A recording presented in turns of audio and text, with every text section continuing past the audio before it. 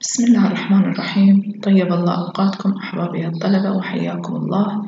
في درس جديد من دروس قواعد اللغة العربية وموضوع جديد. ألا وهو أسلوب الاستثناء. أسلوب الاستثناء يختلف عن أسلوب النفي وأسلوب الاستفهام. لقصره موضوع قصير لكن يحمل في طياته صعوبة نوعا ما.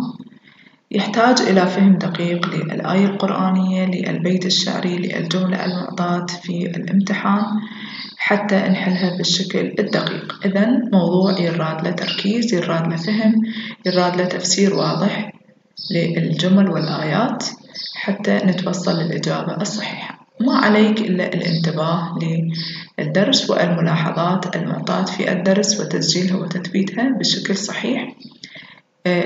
حتى تتمكن من حل السؤال بشكل صحيح لتحصل على الدرجة الكاملة. إذا نبدأ على بركة الله مع موضوع الاستثناء. ومن ذكرنا أنه هو أسلوب معناه يتكون من عدة أمور ليس أمر واحد. إذا بداية نعرف ما معنى الاستثناء. هو إخراج ما بعد الأداة من حكم ما قبلها.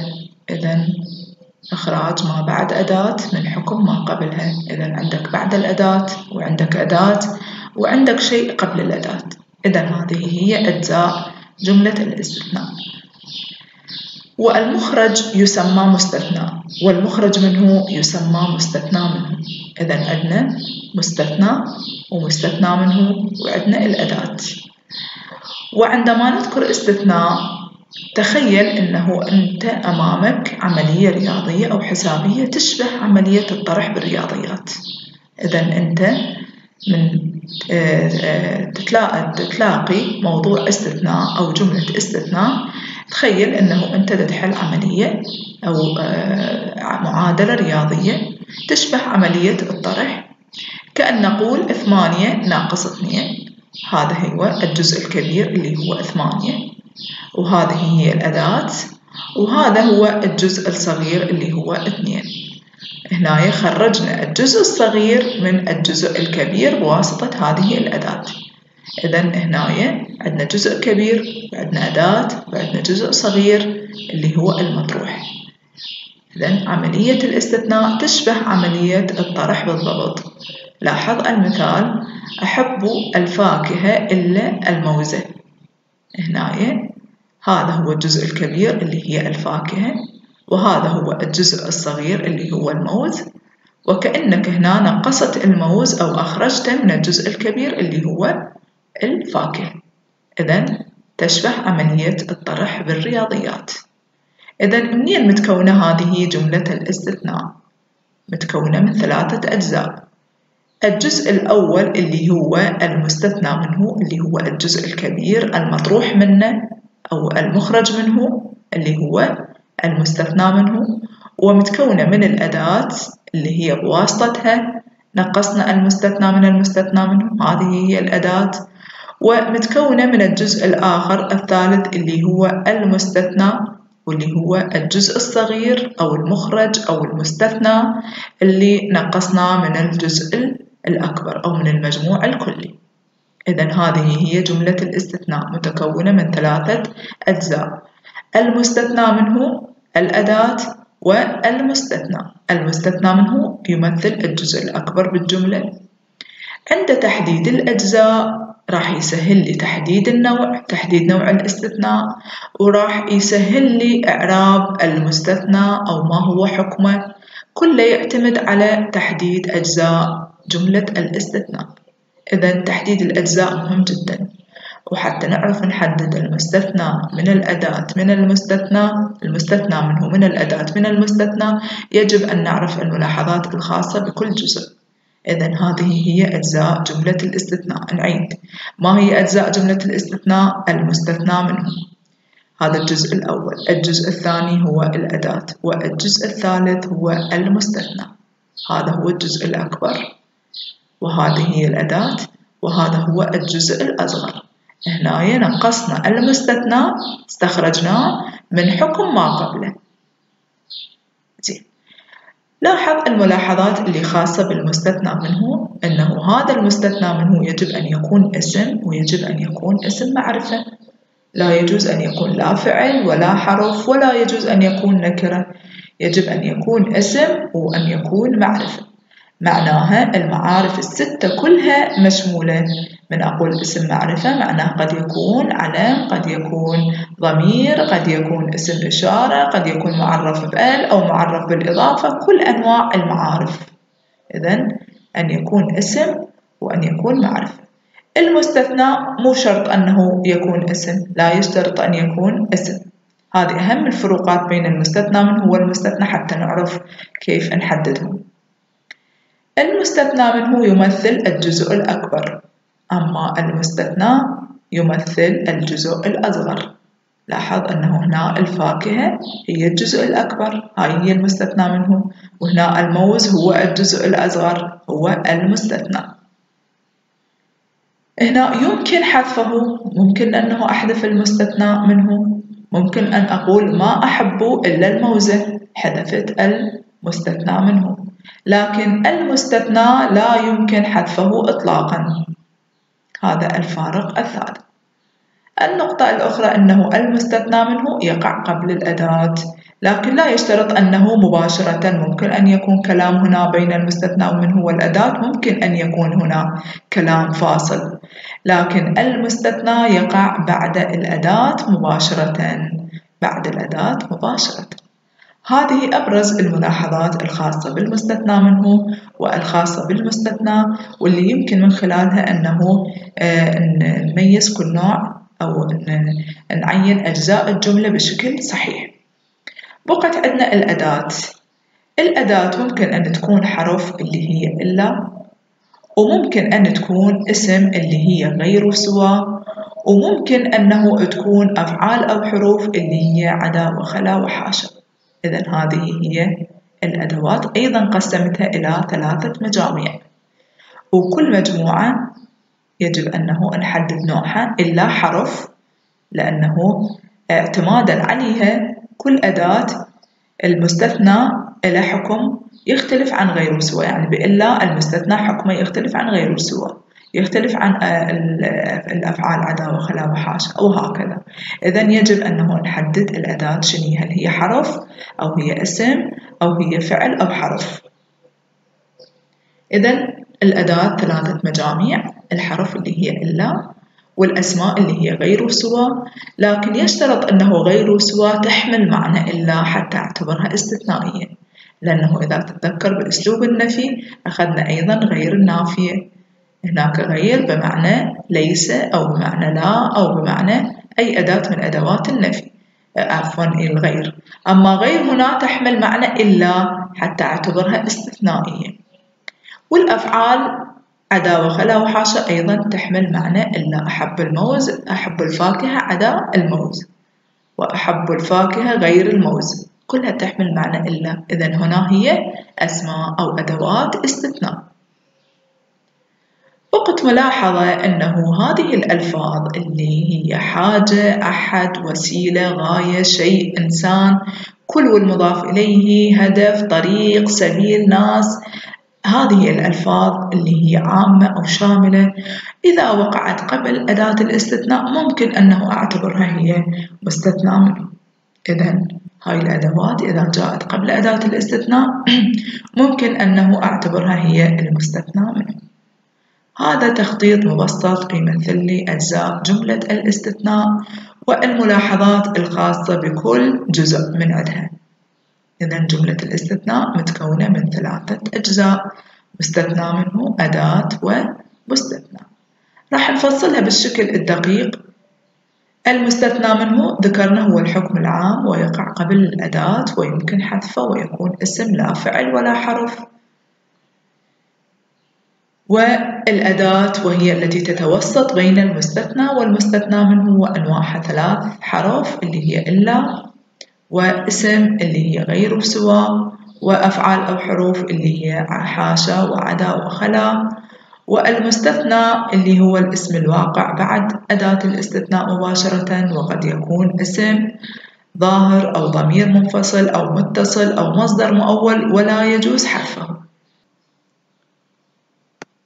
إذا أصبح واضح عندنا أركان جملة الاستثناء اللي متكونة من المستثنى منه اللي هو الجزء الأكبر وأداة الاستثناء والمستثنى اللي هو الجزء الأصغر. لاحظ حضر الطلاب الدرس إلا محمدا. حضر فعل الطلاب الفاعل اللي هي المستثنى منه. طبعا المستثنى منه يعرف حسب موقعه من الجملة. ممكن يأتي مبتدأ ممكن يأتي فاعل ممكن يأتي مفعول به ممكن يأتي اسم مجرور وهكذا يعرف حسب موقعه من الجملة. والدرس مفعول به إلا أداة الاستثناء ومحمدا المستثنى. بقى عندنا موضوع اللي هو أنواع الاستثناء واللي هو موضوع جدا مهم. وكثير من الأسئلة الوزارية تحمل صيغة ما نوع الاستثناء. إذا كم نوع من الاستثناء عندنا؟ عندنا نوعين إما تام أو مفرغ.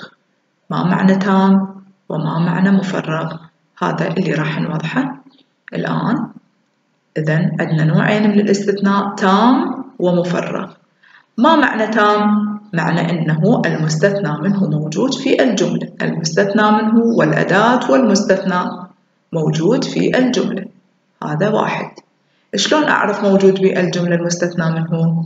نلاحظ أنه الجملة قبل أداة الاستثناء تامة المعنى. ولاحظ هذا المثال. فاز المتسابقون إلا واحدا. هذا هو المستثنى منه اللي هو المتسابقون وإلا أداة الاستثناء وواحدا هو المستثنى. ما دام المستثنى منه موجود إذا الاستثناء تام. إذا الاستثناء تام. عندنا دليل آخر حتى نعرف أنه الاستثناء تام أنه الجملة قبل أداة الاستثناء تامة المعنى. فاز المتسابقون الجملة كاملة المعنى وتامة. إذا الاستثناء تام. هذا واحد.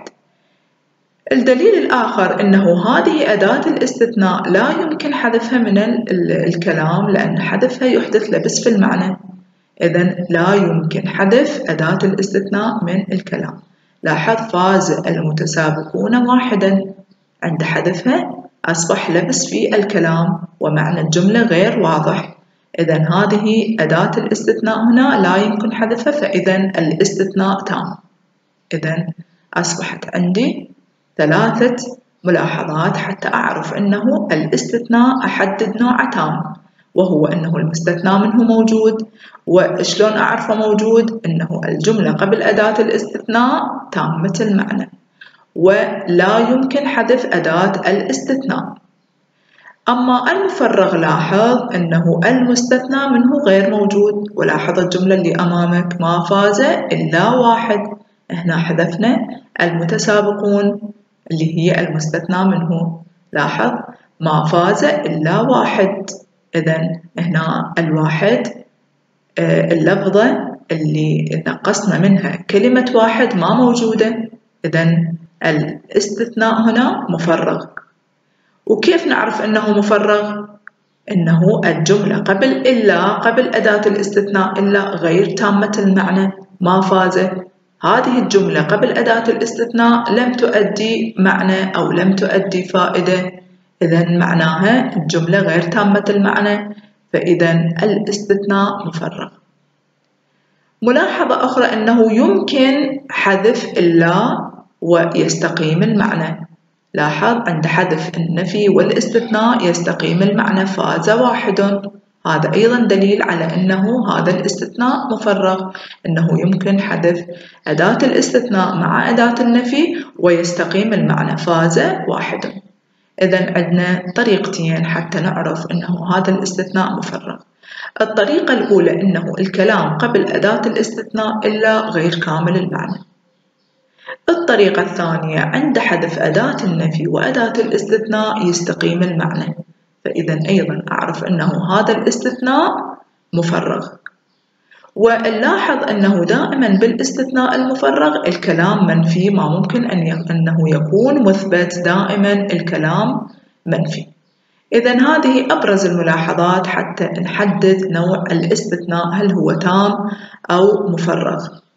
إذا عند ذكر نوع الاستثناء تام لا يكفي أن نقول تام ونقف. وإنما أيضا هناك أنواع أخرى في التام واللي هي إما متصل أو منقطع. إذا الاستثناء تام والتام أيضا يقسم إلى قسمين اللي هي متصل واللي هو منقطع. ما معنى متصل؟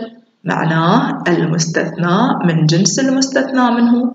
لاحظ أنه كلمة واحدا هي من جنس المتسابقون واحدا يعني فائزة. إذا واحدا من جنس المتسابقون. إذا هذا استثناء تام حددته تام لأنه المستثنى منه موجود. ومتصل معناه المستثنى من جنس المستثنى منه. والمنقطع معناه المستثنى ليس من جنس المستثنى منه. إذا الاستثناء التام أيضا يقسم إلى متصل ومنقطع. وهذا المتصل أيضا يقسم إلى مثبت ومنفي. مثبت معناها غير مسبوق بأداة نفي. منفي معناها مسبوق بأحد أدوات النفي. وكذلك المنقطع. إما مثبت أو منفي. ولاحظ الأمثلة هي اللي تبين أنه فلبث فيهم ألف سنة لبث فيهم ألف سنة إلا خمسين. لاحظ لبث فيهم ألف سنة إلا خمسين ألف سنة إلا خمسين. الخمسين من أي لفظة نقصتها؟ نقصتها من ألف سنة. إذا هنا المستثنى منه موجود اللي هو ألف ألف سنة. والمستثنى اللي هو خمسين إذا الاستثناء ما دام المستثنى منه موجود إذا الاستثناء تام المستثنى هل هو من جنس المستثنى منه؟ الخمسين أيضا من جنس الألف سنة إذا هنا الاستثناء متصل هل مثبت أو منفي مسبوق بأداة نفي؟ الكلام مثبت غير مسبوق بأي أداة من أدوات النفي. إذا الاستثناء هنا تام متصل مثبت. تام متصل مثبت. لاحظ المثال الآخر. ولا يلتفت منكم أحد إلا امرأتك. هذه أداة الاستثناء. وهذا هو المستثنى اللي هو امرأتك. لاحظ امرأتك من أي لفظة نقصناها أو طرحناها. نقصتها من لفظة أحد.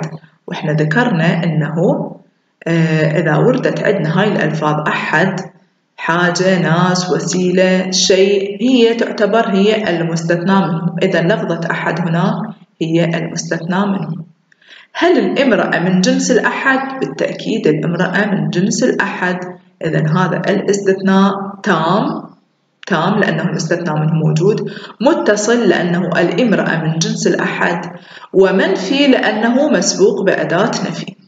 إذا التام المتصل مثبت كما في المثال الأول وتام متصل منفي كما في المثال الثاني. وما معنى منقطع؟ المنقطع معناه المستثنى من غير جنس المستثنى منه. لاحظت المثال وصل المسافرون إلا حقائبهم. الحقائب هنا حقائبهم. الحقائب هنا ليس من جنس المسافرون المسافرون من جنس عاقل والحقائب من غير جنس اللي هي غير عاقل. إذا المستثنى هنا من غير جنس المستثنى منه. المستثنى منه موجود إذا هو تام. المستثنى من غير جنس المستثنى منه إذا هو منقطع.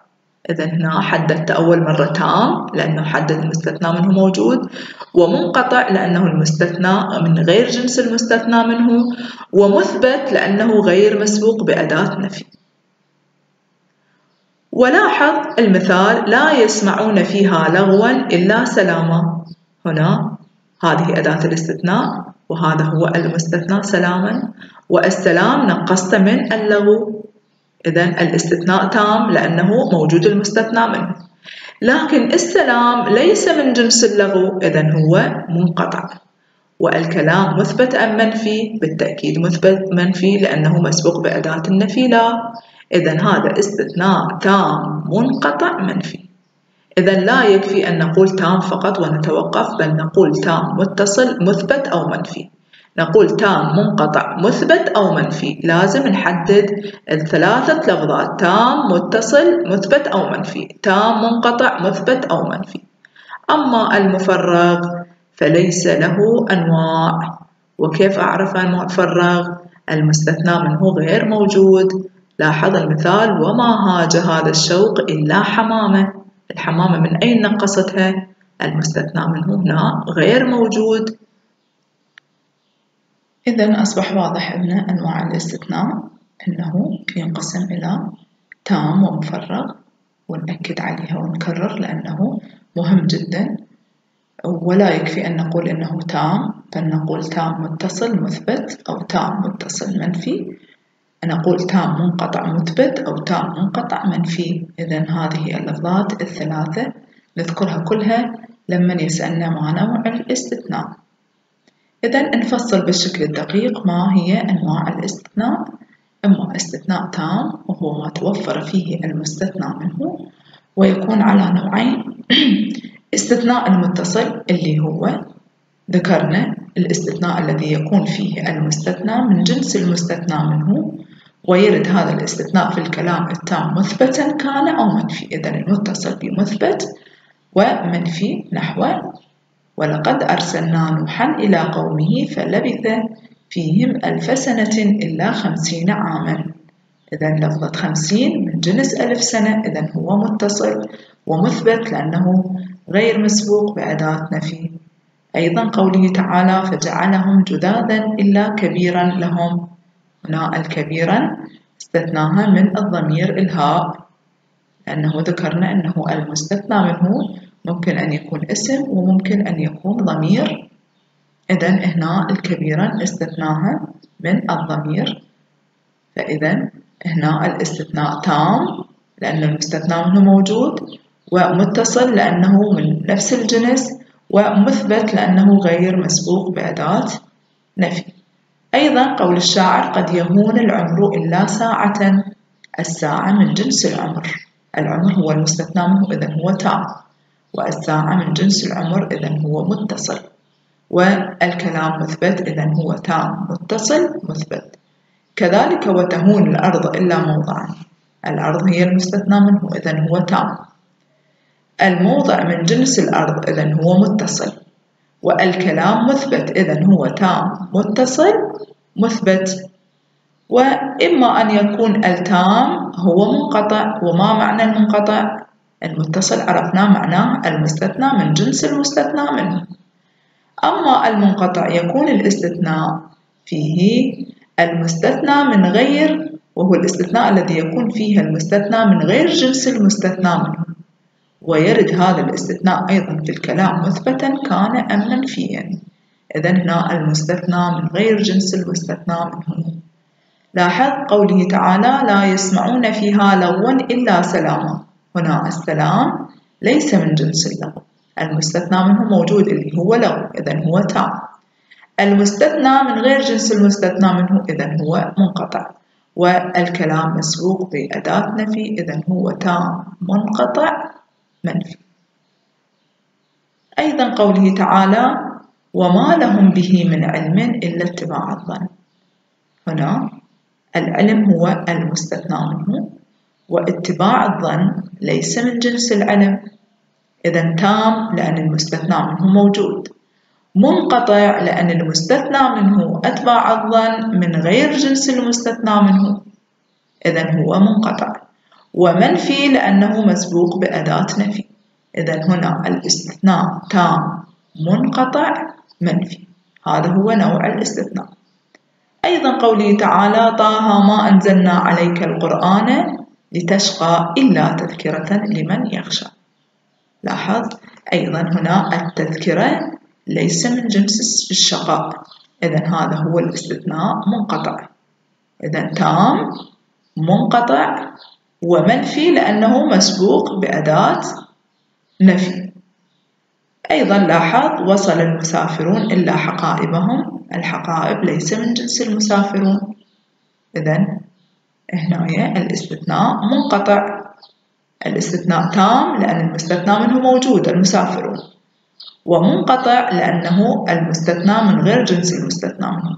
ومثبت لأنه غير مسبوق بأداة نفي كذلك قولنا احترقت السيارة إلا سائقها هنا السائق ليس من جنس السيارة.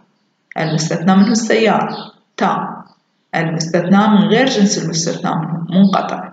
الكلام مثبت. إذا تام منقطع مثبت. واضح تحديد نوع الاستثناء.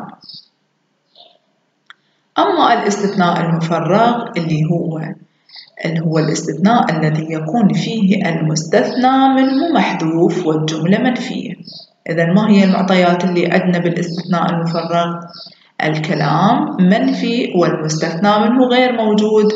كأن تكون منفية ما معنى منفية كأن تكون مسبوقة بنهي أو استفهام متضمن معنى النفي أو فعل متضمن معنى النفي؟ ولاحظ الأمثلة.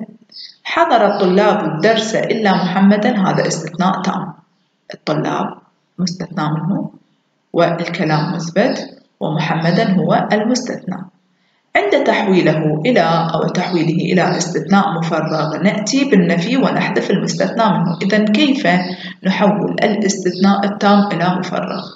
أول ما نأتي بأداة نفي ونحذف المستثنى منه فتصبح الجملة ما حضر الدرس إلا محمد هذا استثناء مفرغ. واضح؟ إذا نزلت أداة نفي وحذفت المستثنى منه وكملت الجملة أصبح الاستثناء. حولته من تام إلى مفرغ. كيف حولناه التام إلى مفرغ؟ جئنا بأداة نفي وحذفنا المستثنى منه. تحول الاستثناء التام إلى مفرغ. لاحظ قوله تعالى إن هذا إلا أساطير الأولين. هاي النافية بمعنى ما؟ ما هذا إلا أساطير الأولين. لاحظ كيف نعرف أنه هذا الاستثناء مفرغ؟ أولا الكلام قبل أداة الاستثناء غير تام المعنى. إن هذا جملة غير تامة المعنى. والطريقة الثانية حتى نعرف أنه هذا الاستثناء مفرغ نحذف أداة النفي ونحذف أداة الاستثناء. هذا أساطير الأولين. لاحظ استقام المعنى أصبح مبتدأ وخبر وهو مضاف والأولين مضاف إليه. إذا رجعت الجملة طبيعية مبتدأ وخبر. إذا هذا الاستثناء ليس له من الاستثناء إلا الشكل. إذا هذا طريقة من طرق التوكيد يسموها التوكيد بالقصر. هذا ما له من الاستثناء إلا الشكل. هنا فقط هذه الإلا هنا أداة استثناء أو أداة حصر ملغاة. أداة حصر ملغاة. إذا بالمفرغ نعرب هذه الأداة أداة حصر ملغاة. لاحظ أيضا قوله تعالى هل هذا إلا بشر مثلكم؟ لاحظ هل هذا هذا نفي ضمني. استفهام متضمن معنى النفي. إذا هذا نفي ضمني. لاحظ عند حذف أداة النفي وأداة الاستثناء هذا بشر مثلكم مثلكم. إذا مبتدأ وخبر رجعت الجملة طبيعية. إذا الأداة الاستثناء هنا فقط لتوكيد الكلام. إذا هذا ليس باستثناء وإنما هو هنا فقط إلى الشكل إنما هو طريقة من طرق التوكيد. إذا هذه أداة استثناء ملغاة وما محمد إلا رسول. لاحظ أيضا الكلام قبل أداة الاستثناء غير كامل المعنى أو عند حذف أداة النفي وأداة الاستثناء يستقيم المعنى محمد رسول مبتدأ وخبر أيضا هذا الاستثناء مفرغ. قال تعالى فأبى. هذا فعل يفيد النفي. فعل متضمن معنى النفي. أيضا معناه هذا نفي ضمني. فأبى أكثر الناس إلا كفورا أي لا يريد أكثر الناس.